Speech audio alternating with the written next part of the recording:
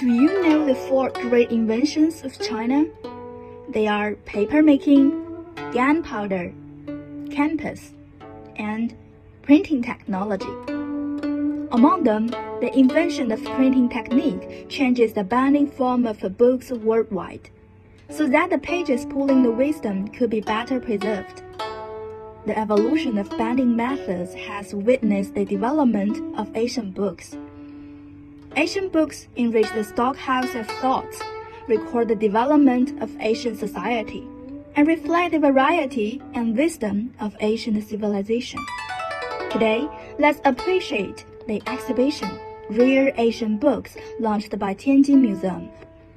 More than 100 treasures from a collection of 53,000 Asian books in Tianjin Museum have been selected for the exhibition most of which are on public display for the first time. The exhibited Asian books cover a wide range, including philosophy, literature, history, geography, politics, economy, military, science, medicine, and so on, many of which are Asian editions of representative works in this field. Books bounded in different methods such as whirlwind binding, orihon, wrapped back binding, and thread bindings are on display.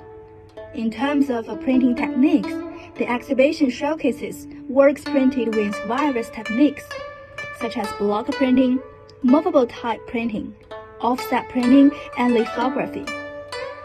As a significant component of Asian cultural heritage, Asian books not only represent the shared spirit of the Chinese people, but also serve as bridge linking all Chinese descendants. In the context of prizing reading and promoting cultural awareness, activities such as Asian book restoration and preservation have gradually emerged.